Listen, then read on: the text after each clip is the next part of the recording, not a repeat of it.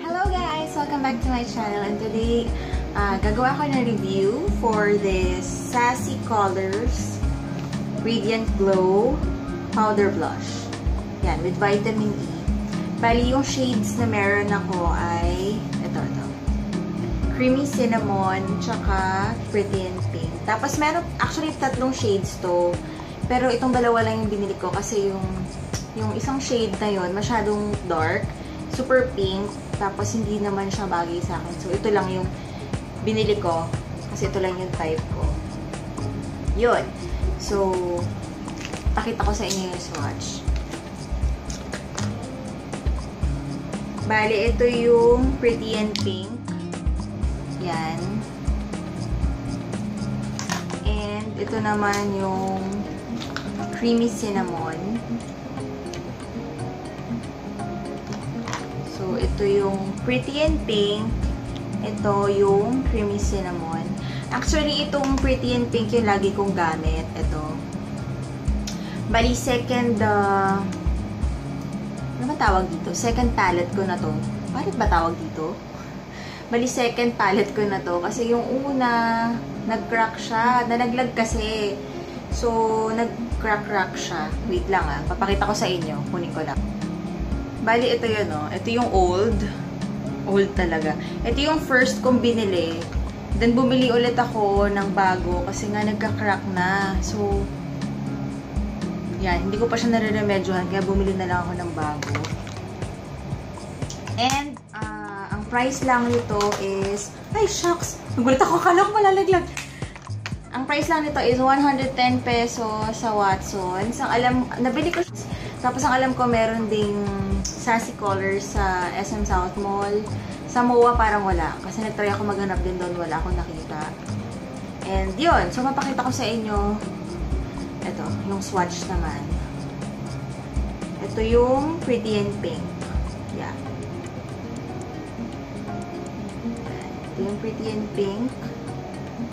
Yan. Very light lang siya.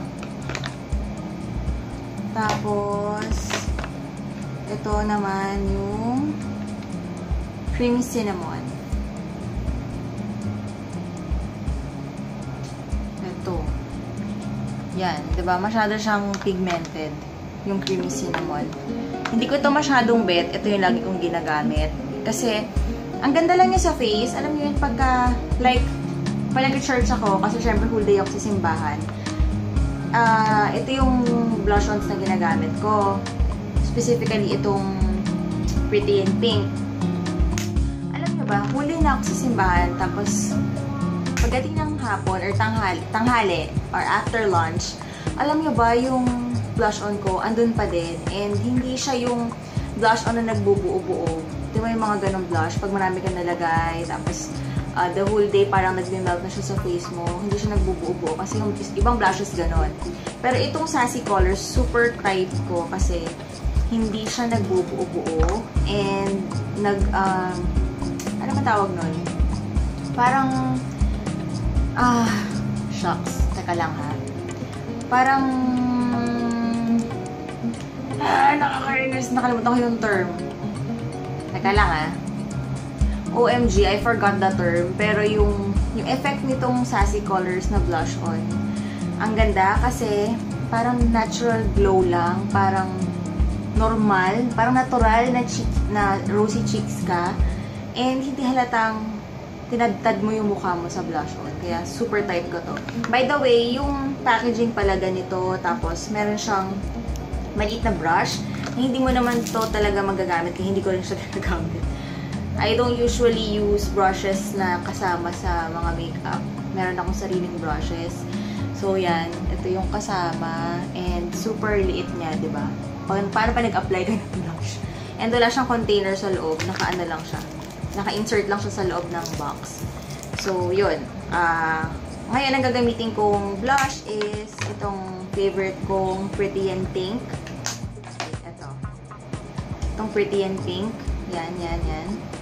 And gagamitin ko yung aking blush brush. Yeah. Ito yung blush brush ko. So, apply lang ako.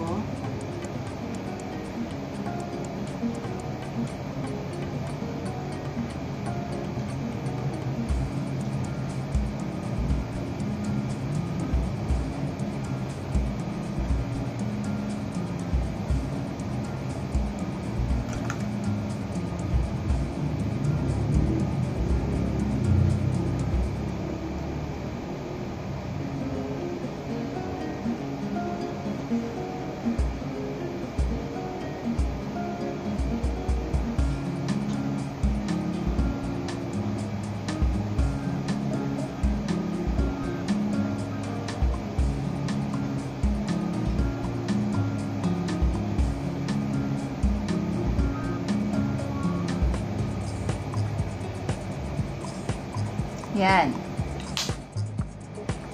Hindi siya masyadong ano sa camera, pero maganda siya. So, yun lang. And, uh, sana may naitulong ako at nakatulong sa inyo tong video na to. And, yun. Mag, basta maganda tong ano, tong Sassy Colors. Tama. Sassy Colors uh, Rated Glow Powder Brush. Yung nasa likod pala, babasahin ko lang. Uh, highlights and contour cheeks luminous pearl and color pigments provides the skin with a subtle, subtle shimmer for a radiantly beautiful glow. Enriched with vitamin E to help protect to help protect and moisturize skin. And fragrance free. And it 6 grams pala tong ganito. Mura na siya kasi 110 pesos lang. And uh, yun lang madali siyang mag-crack. Kaya iingatan nyo na wag siyang malaglag.